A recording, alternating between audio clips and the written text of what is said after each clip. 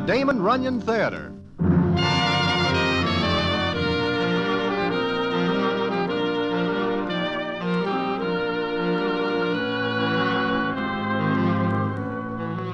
Once again, the Damon Runyon Theater brings you another story by the master storyteller, Damon Runyon. And this one, Barbecue. And to tell it to you, here is Broadway. Thanks. Well, one afternoon I am in Miami, Florida, being down there for the race meet. I am enjoying some seafood in the little sharkskin grill when I am joined by a citizen named High C. Homer. So called because he tries out as a singer one time in an amateur contest, but his career does not go on from there because someone catches him under the chin with a cabbage, and Homer turns to other hobbies, mostly more than somewhat off the level. Well, we talk of this and that until Homer looks toward the door and says, Broadway, I wonder why it is that I cannot go any place without a copper sticking in his face. Copper? Where? Coming over. And this one's name is Finnegan, and he is rough on the edges. Homer, what do you do that brings him to see you? Nothing, I think. Well, well. Hello there, Homer. Hello, Finnegan. Sit down. I'll say this standing up. Homer, the chief will consider it a favor if you'll bid us farewell. Why? What is his idea? He doesn't have to have one. Just goodbye, Homer. I do nothing. Maybe not. But somebody touched up a guest in this town for 50 grand. My goodness, that is a lot of scratch. It is. And what makes you and the chief think I have anything to do with it? Just the fact you're in town makes us believe anything.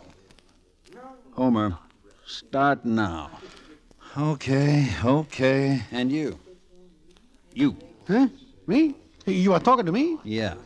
Go with Homer. But but I do nothing. I only know Homer. That could be a crime. And is. Both of you.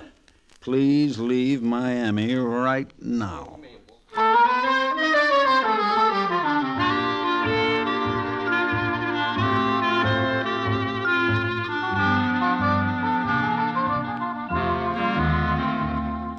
So that is how I leave Miami, somewhat under a cloud.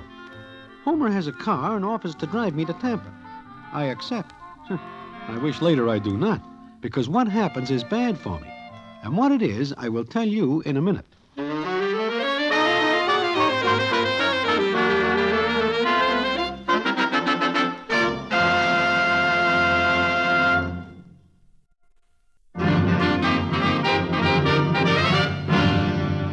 And now back to the Damon Runyon Theater and the famous story, Barbecue.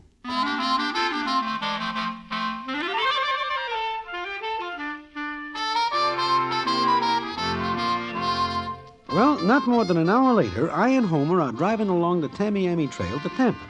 Homer is a little cross because, as he says, I do not mind taking a rap for something I do.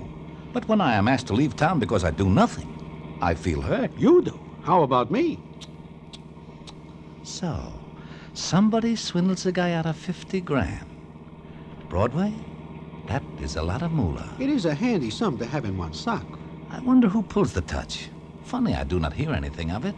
You are sure you have nothing to do with it? Me? Broadway. There is no handhold on a crooked dollar. Huh? What business are you in, Homer? Legitimate. Since when? Broadway. What is the matter with you? Everything.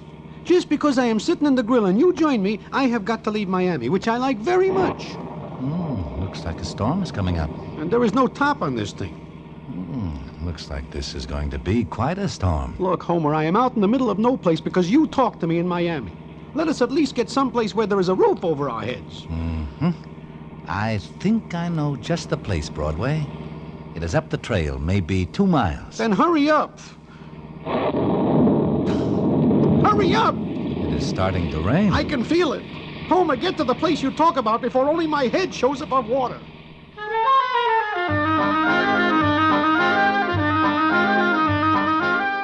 With Homer coaxes a couple more spurts out of the old pail, and in a few minutes we are walking into one of them roadside places that sell sandwiches and things like that.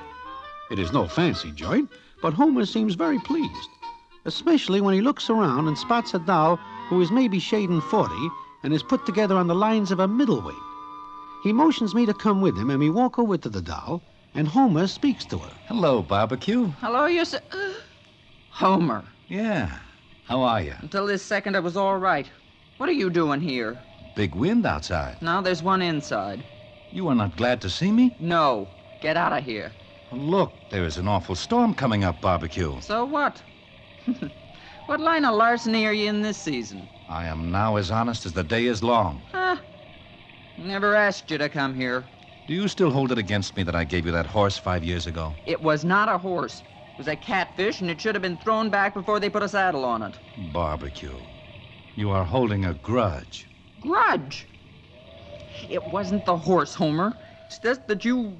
you'll never straighten out. I don't want to see you. How about the storm outside? It'll do you good. But my friend here. Any friend of yours deserves a good storm. Oh, now, wait a minute, miss. It is not my fault Homer drags me in here. It is not my fault that I am with him. The cops in Miami. Oh, I see. They tossed you out, huh, Homer? Well. And me with him, for no reason at all. Your word I'll take. His, no. But. mm, Well, okay. As soon as the storm blows over, get. I know you would see things my way. Mm, sure. But, Homer, What? don't. don't try talking me into anything. Like what? Like. like talking me into anything. Okay, Barbecue. I will not. Come on, Broadway. Let us sit down. Say, who is this Kamapa who talks to you in such a discourteous manner? She is no Kamapo. In fact, I think she is quite handsome. What? Handsome? You have to stand at an awful good angle, of which there is none. Broadway. It is because you do not know any better that you speak that way of my wife. Wife? Your. My ever loving wife. She divorces me nine years ago. Then how can she be your ever loving wife? I consider her such because I still love her. But she has nothing to do with me because she does not approve of my way of making a few bobs here and there. This I understand. Every time I see her, I love her more. Broadway, someday I will get her back.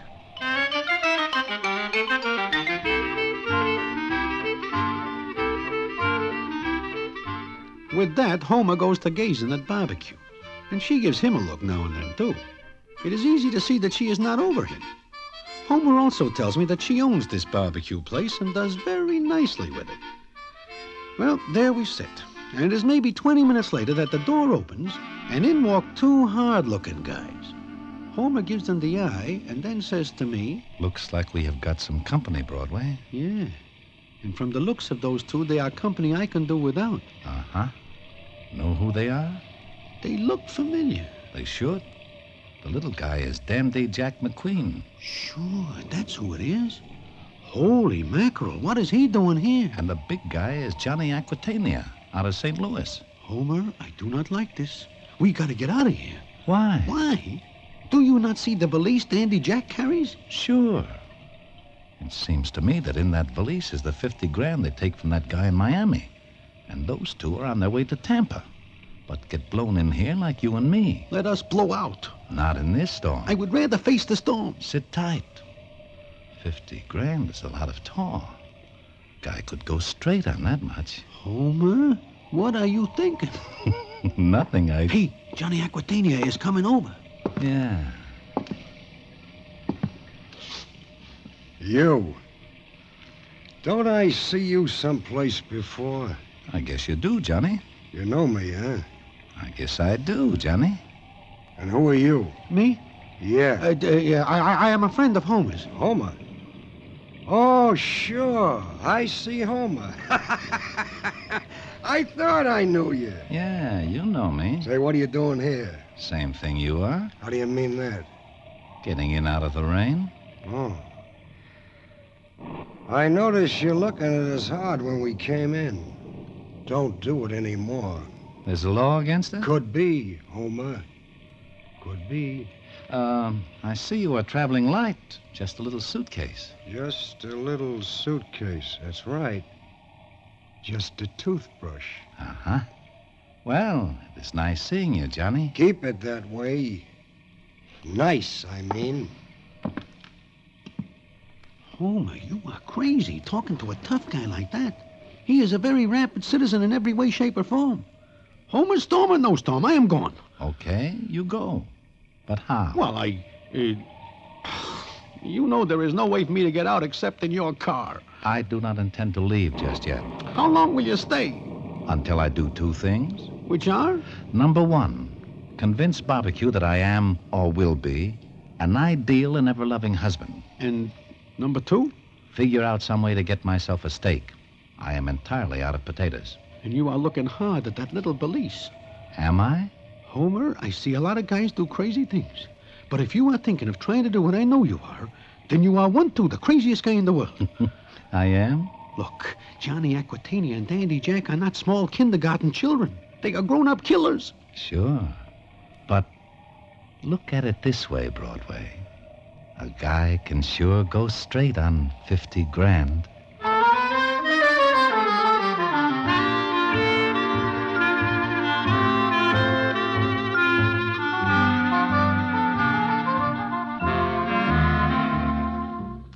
Hooked and I know it. Outside there is a storm that sounds like it is blowing the state right off at the map. And inside there are two guys with 50 grand that they will resent anybody trying to pick off.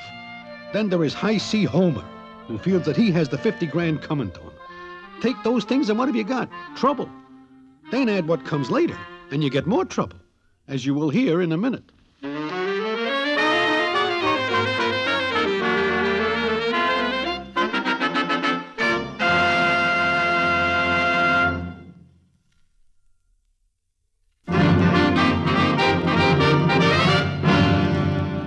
Now back to the Damon Runyon Theater and the famous story, Barbecue.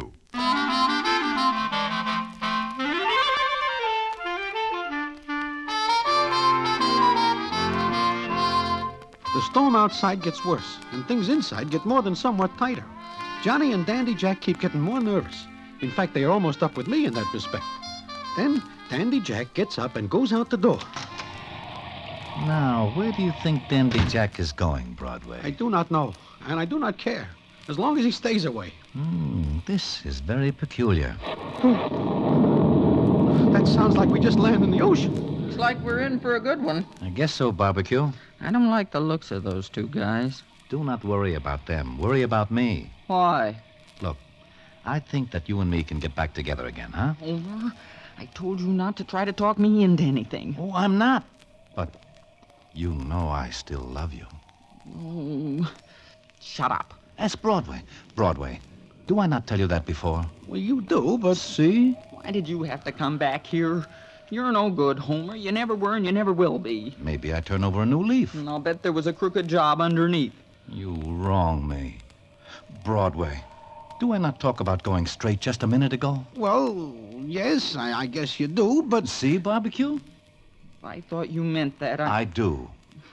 said it a thousand times, and I always end up the same. Holding the sack while you're keeping a jump ahead of the cops. No. You're just no good. Look, if I go straight for a whole year, what then?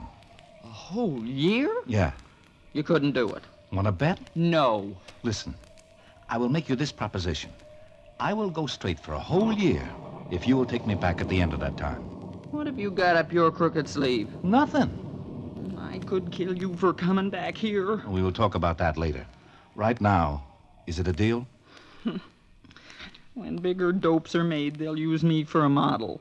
What does that mean? I'm a sap. I fall for this line every time. But you never hear me say before that I will go straight for a whole year. No, that's something new. All right, Homer. But so help me, if you break this promise, if I hear one little thing about you that ain't on the level, don't ever let me see you again. Because if you do, I'll turn you in myself if I have to frame you. Understand? Sure, I get it. Now, you talk to Broadway a minute.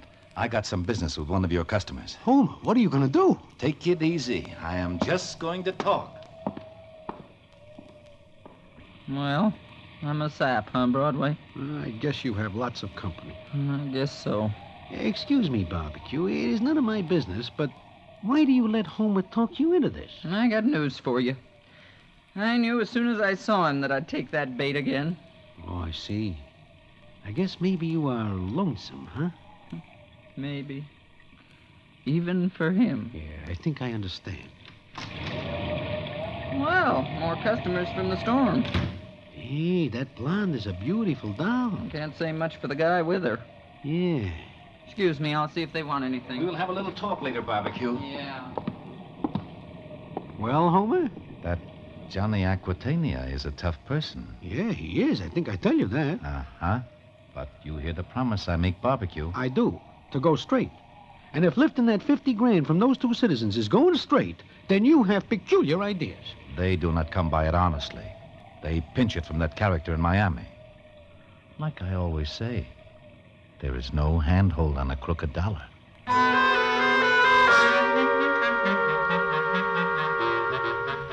So we sit there with the storm getting worse all the time. The new customers that come in are a young guy and a young doll who look like they are very scared about something. Then Dandy Jack comes back in, nods to Johnny Aquitania. Homer sees the nod, gives me a funny look, and then motions for me to go outside with him. We do so. And I think it is very funny that Johnny and Dandy let us go until Homer goes to his car, where the scene is as follows. Like I think. Dandy Jack fixes my car so I cannot drive it. No wonder they let us come outside. Homer, this is getting worse all the time. I guess it is. Maybe we should fix their car. Homer, do not be a sap. If you do that, then they will know who it is, and you will be cooked. And I will be cooked. Yeah, I guess you are right. Look, There's another car. it must belong to that young guy that comes in with the doll. Let's take a look at it. Hmm, this one is all right. I guess it is only me that Johnny and Dandy worry about. You know, I think they have a very good reason. Look, Where? over there. When we get here, I see the telephone lines. Now look at them. They are cut. Johnny and Dandy are taking no chances. I guess we better go back in. Wait a minute. Listen. Hmm? That sounds like like somebody. It is coming from this car. Yeah, it is.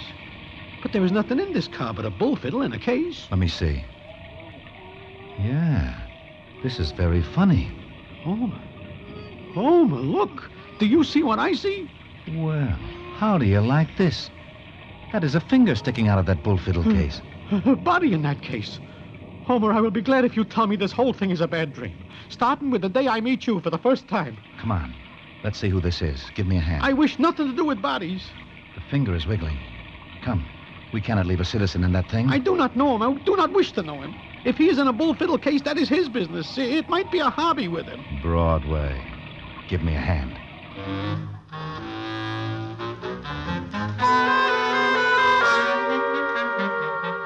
There is nothing else to it but that we take the citizen out of the case. It turns out that he is a little old guy with a lump on his head the size of a watermelon. I and Homer take him back into the kitchen without going through the dining room. And there, the old guy starts to talk. Thank you. Oh, thank you, gentlemen. I would have died in there. Will you please explain this hiding in a bull fiddle case? It is not dignified for a party of your years. I. I was put in there. They did it. My wife and that. and that Giuliano. Uh, is your ever-loving wife a beautiful blonde doll? Yes, And this Giuliano, is he a dark guy with a mustache? yes. Where are they? Inside, in the dining room. Well, they're going to be surprised when they find I'm still alive.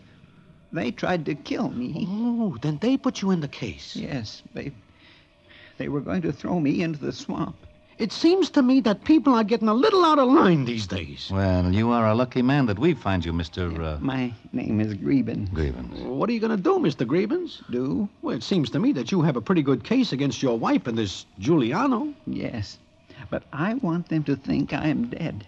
Let them throw that case into the swamp. Without you in it? If you think I'm going to get back in there, you're crazy. You've got a point there.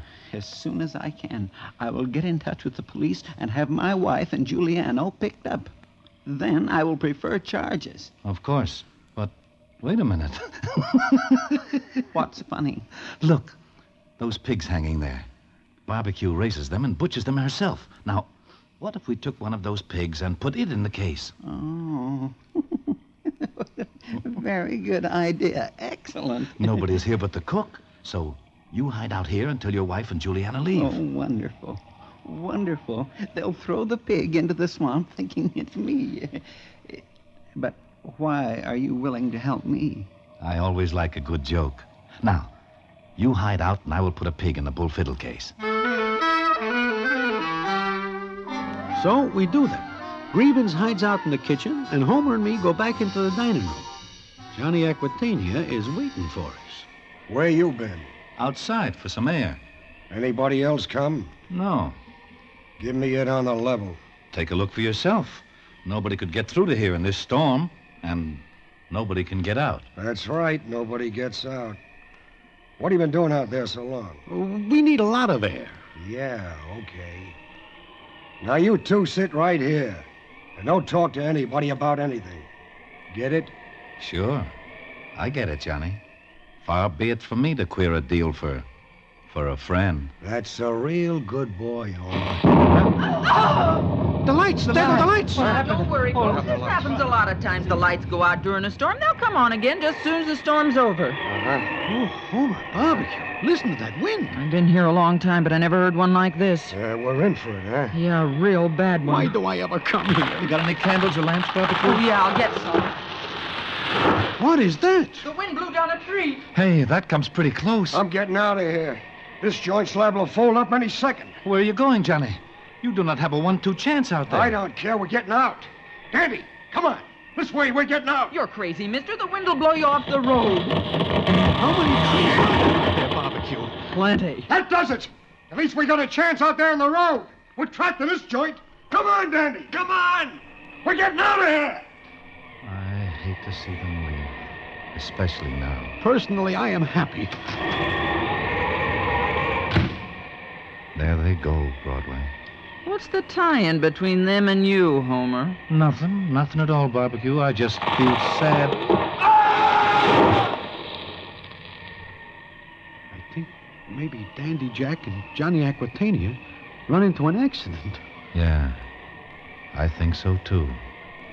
Well, like I always say, there is no handhold on a crooked dollar.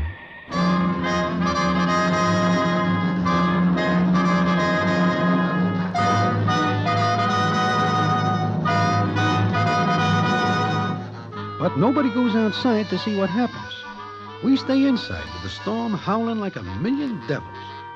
I see that Homer is aching to go out, but he will not take the chance. Then it comes on morning and the storm is gone. I and Homer sneak outside while Barbecue is busy someplace else. Just look at them, Broadway. They are deader than last week's tip on a horse. I think they are. But here is a little valise. It is not even scratched. What are you going to do with that? Go straight. I am going to South America and live straight. Then I will come back in a year Hey, and... look. There go the blonde doll and that Giuliano. with the pig in that bullfiddle case. Well, all is well that ends well. You think this thing is ended? What else? If you are caught with that money. Who will catch me? Nobody. Broadway, I think this is the greatest thing that ever happens to me. We will go back to Miami. Miami? But you know you cannot go back there. But I will. I figure this way. The cops are looking for Dandy Jack and Johnny Aquitania to go north. Now, if I go south, back to Miami, I will be as safe as wheat in the bin. So says High C. Homer. But I am right. It is not the end. And what happens when we get back to Miami is something I will tell you in a minute.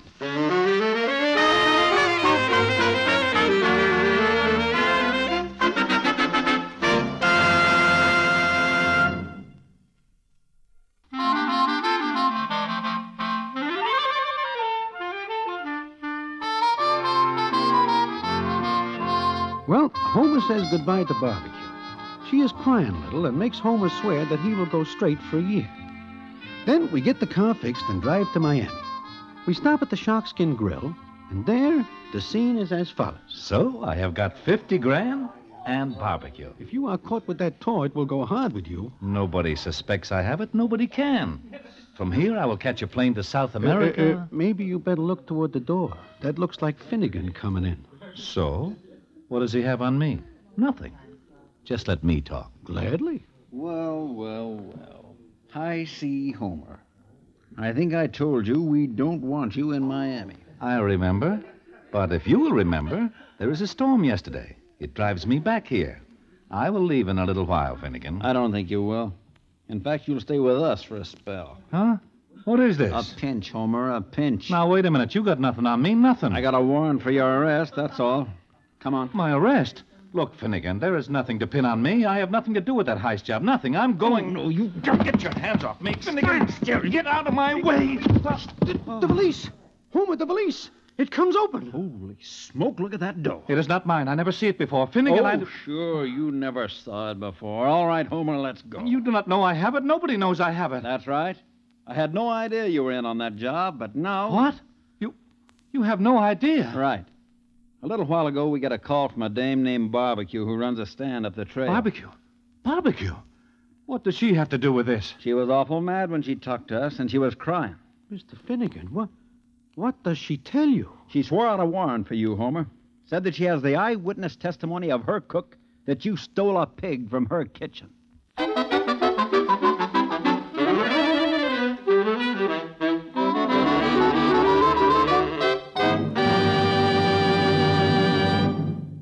And so ends the famous Damon Runyon story, Barbecue.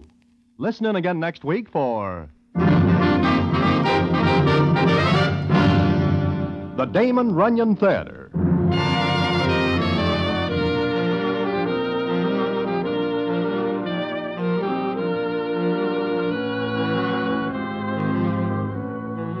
Damon Runyon Theater with John Brown as Broadway is directed by Richard Sanville, and the story is adapted for radio by Russell Hughes. Vern Carstensen is in charge of production. This is a Mayfair production.